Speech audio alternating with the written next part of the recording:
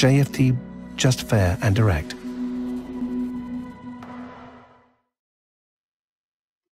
Good morning, everyone, and welcome to JFD's weekly market outlook webinar for the week January the 11th until January the 15th.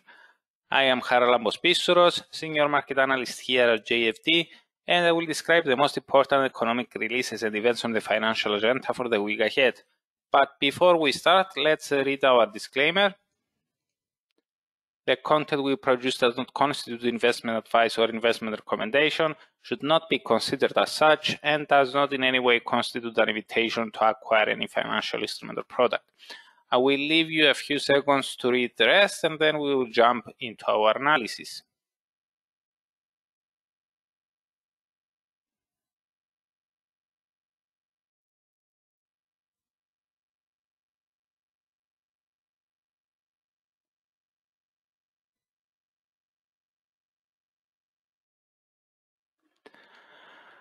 Okay, this week's uh, calendar appeared very light, uh, with the only releases worth mentioning being the US CPIs for December and the UK's monthly GDP for November. Although the US headline CPI is expected to have risen somewhat, we doubt that this would be enough to reduce chances for further easing by the FOMC. As for the UK GDP, we cannot rule out a slide uh, which may raise speculation for more QE by the Bank of England but uh, more details in a while. So let's now take things from the beginning. There are no major economic releases on the agenda for Monday and Tuesday. We only got China's CPI and PPI for December during the Asian session today. The CPI rate rebounded to 0.2% year over year from minus 0.5%, while the PPI one has risen to minus 0.4% year over year from one from minus 1.5%. On Wednesday, the main item on the agenda may be the US CPIs for December.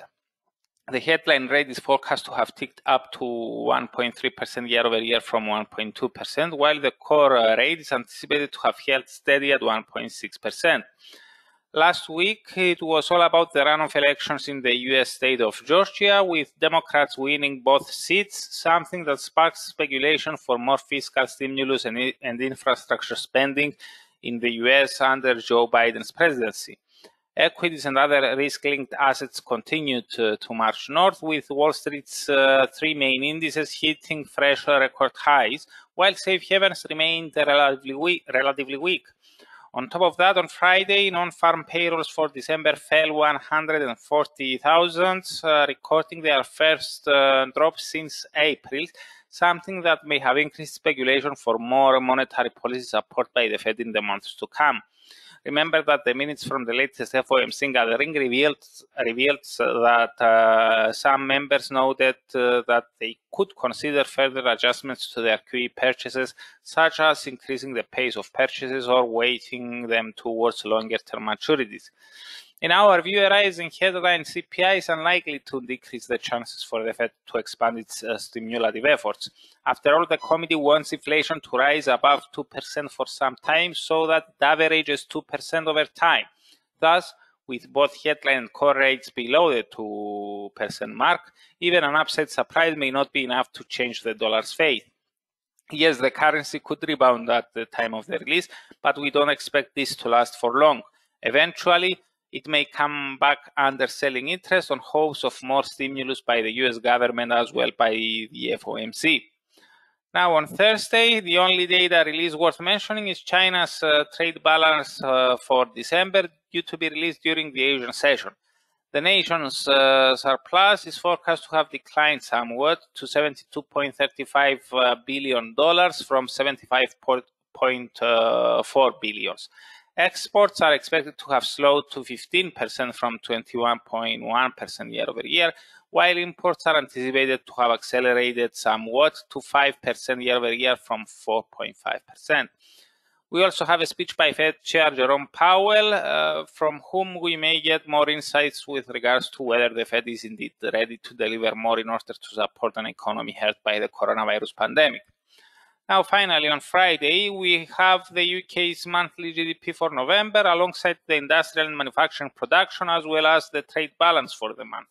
No forecast is available for the GDP, while industrial and manufacturing productions are forecast to have slowed to 0.4% month over month and 1% month over month from 1.3 and 1.7% respectively. Bearing in mind that November was uh, was the month uh, when the UK went back into lockdown, a slowdown in industrial and manufacturing production will not come as a surprise to us. Even a negative GDP print may be possible. So, uh, and as for the trade balance, uh, the, the nation's deficit is expected to have narrowed somewhat to 10.88 billion pounds from 12 uh, billion pounds. On December 24th, the EU and the UK reached a last minute accord on their trade relationship, but talks are far from over. Financial services were not included in the initial deal, and thus future talks uh, will now focus on uh, the UK's access to the EU's financial world. In, uh, in any case, uh, for the moment though, the Brexit saga appears to have taken the back seat, with investors paying attention to how the vaccinations uh, proceed and perhaps on how the new restrictions of um, the new restrictions will affect uh, the UK uh, will affect the UK economy. At its latest meeting, the Bank of England stood pat but reiterated that it stands ready to increase its QE purchases pace should market conditions worsen.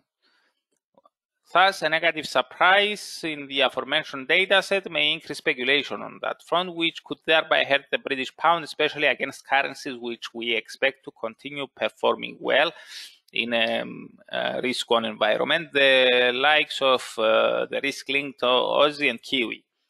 Now, as for the rest of uh, Friday's releases, Eurozone's trade balance for November is coming out, but no forecast is currently available. From the US, we get the New York Empire State Manufacturing Index for January, which is forecast to have risen to 6 from 4.9. The industrial production for December, which is expected to have grown 0.4% month over month, the same pace as in November, and the retail sales for December.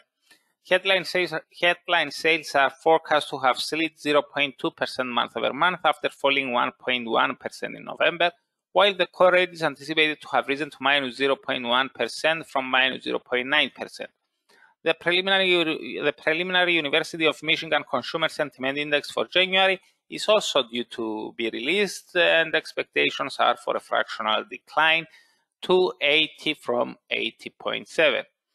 So that's it uh, from me. Thank you very much for watching and uh, listening. I hope you have a great weekend. I'm looking forward to seeing you here again next Monday. If you are interested in more detailed and frequent analysis, you can find me on our YouTube channel from Tuesday to Friday at around 8.30 a.m. GMT. So goodbye and have a nice day.